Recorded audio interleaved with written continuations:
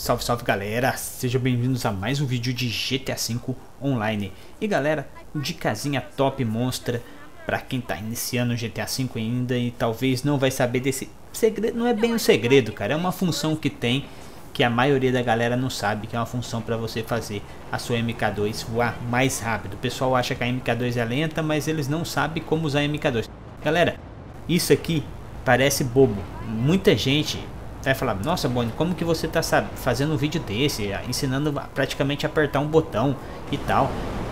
Galera, muita gente, mas muita gente não sabe dessa dica, tudo bem? Então assim, eu vou dar essa dicasinha, quem já é veterano provavelmente já vai saber, mas quem está iniciando GTA, comprou MK2 e está achando ela lenta, com esse esquema você vai conseguir fazer ela ficar mais rápida.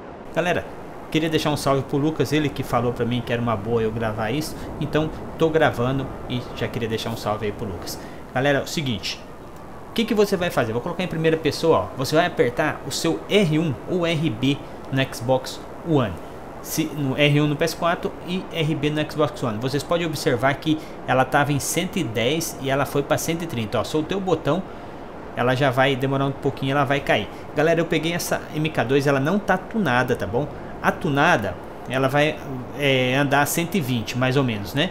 E se você apertar o botão, ela vai 130. Sem tunar, ela vai andar na mesma velocidade. Você a, apertando aqui, a gente fala a embreagem da, dela, você vai conseguir fazer ela voar a 130. Então você vai ter um tanto a mais de velocidade aí. Lembrando que isso aqui é 130 milhas, tá? Não é 130 km por hora. Então você vai voar muito mais rápido. Então a dicasinha era essa, é um videozinho rápido, porém é, eu precisava gravar esse vídeo que fica como uma dica para quem está iniciando. Tem essa função do botão que às vezes a pessoa aperta ali, está distraído, nem percebe o que, que faz e você vai ter uma velocidade a mais aí na sua MK2. Beleza, galera? Espero que vocês gostem. Se possível, compartilhe o vídeo, deixe o like e se não for inscrito no canal, já aproveita e se inscreva.